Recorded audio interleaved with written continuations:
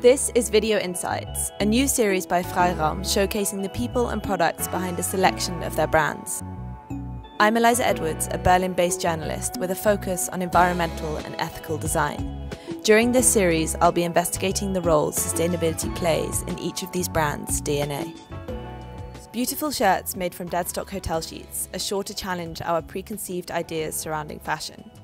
Archivist Studio is a Berlin, Amsterdam based brand that sources high quality fabrics from hotels and transforms the exquisite materials that would otherwise be thrown away into elegant, adaptable pieces.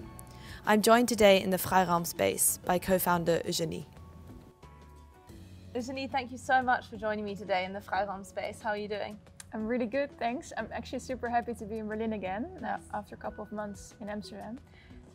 For someone who's not familiar with the Archivist concept, how would you explain it to them? So, what we do with Archivist is we take the sheets from luxury hotels and we turn it into clothing. So this, for instance, the shirt that I'm wearing was um, a bed sheet from a luxury hotel in London. Creating shirts out of hotel sheets is a really unique idea. How did you arrive at that concept? Um, I was i have always been quite passionate about upcycling. Mm -hmm. uh, I've been following many different brands that do it. And I think I came to the point of contacting hotels was when I found out about this brand that upcycles um, the outer material of trucks and they turn it into bags. So like the thick, waterproof exactly. material that you pull over. Okay. Yeah, and uh, it's ideal because um, it's really large surfaces mm. and so mm. it's easier for them to source and mm. for instance if you would go to a vintage store and you had to find uh, shirt t-shirts to upcycle and so that's when I thought okay uh, hotel sheets are big surfaces and there's probably a lot of waste there so maybe this is something we can do and so you went to the hotel and you got all the material and then you created these shirts what was the reaction of people when you presented them with the Archivist product? Um, so typically there, there were two types of reactions and mm -hmm. I mm-hmm. have to say I don't get the, the second reaction anymore. So first reaction is, oh great, love it, uh, positive. And the second was, ew, because people could, these people could not imagine. So interesting. Yeah, yeah. wearing something which mm. was used as a hotel sheet before. Um, but as I said, this uh, has completely changed. I never never get that reaction anymore. And also the people that had this reaction, that were either people that would never buy vintage, mm -hmm. and or I would ask them, um, if you sleep in a hotel bed, do you find it dirty? And then they would realize and would be like, oh no, of course not.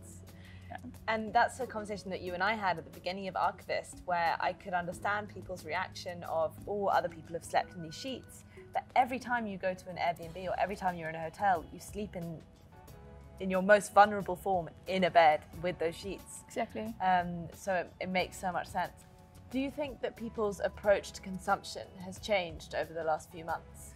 Yeah, absolutely.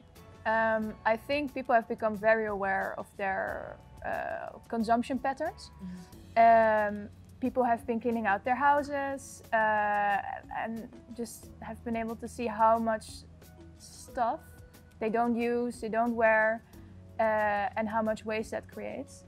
Uh, and so, yeah, I think the past months have been uh, have been quite important for sustainability. To that's not the right thing to say. It's, it's, it's not. It's increased awareness. I think it's increased awareness. Mm um, about sustainability. Mm, yeah. I think it's so, and it's so interesting that for many people this time was very difficult and you know many brands and companies have suffered under the, over the last few months but for you guys from the sounds of it it's been very busy and I guess of course it's been difficult but also that's a good thing. Your first designs were very feminine. They had frills here and puffy sleeves and now you're making more classical shirts that can be worn by men and women. How does the manufacturing process work from start to finish? So um, it starts with the design. Uh, Johannes, my co-founder, he is a fashion designer. He studied uh, in Arnhem, the ArtEZ Academ Academ Academy. Um, and um, so he has been thoroughly researching how shirts are, like how high quality shirts are made and even how you can improve the quality, how you can um, just uh, increased durability of of a shirt. Uh, and obviously, um, he has wanted to design something which is very timeless and elegant and can fit into any any occasion. And so that's how we turn out. Uh, that's why we decided to focus on shirts. And so how it's produced. Um, so the sheets get sent um, to our producer in near Bucharest. So we have we're working with a family-run atelier there, they receive the sheets, they wash them, iron them, cut them, assemble them, fold them, and then send us to us to the Netherlands.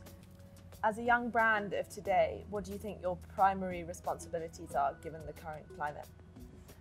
Yeah, as a young brand, um, it's important to have well your sustainability um, focus, obviously. uh, Well, in, in my eyes, and then you can kind of choose. I think which direction you're going for.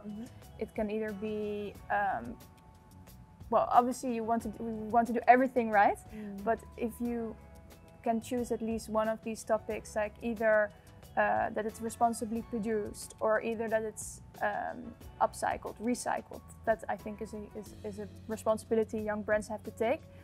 And then for us specifically, if you ask me what I what I think about is for us what we want to take as a goal is to scale our business and try to bring our prices down so that we can reach a bigger target audience and can be just more available for everyone. Yeah. Eugenie, thank you so much for your time. I'm so excited to see where this goes. Thank you. Thank you for having me.